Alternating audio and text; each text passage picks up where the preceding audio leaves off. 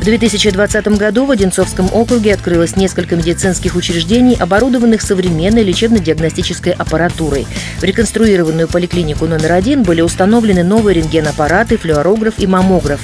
Это позволило открыть на базе медучреждения отделение лучевой и функциональной диагностики, эндоскопии, клинико-диагностическую лабораторию, многопрофильный хирургический блок и отделение дневного стационара.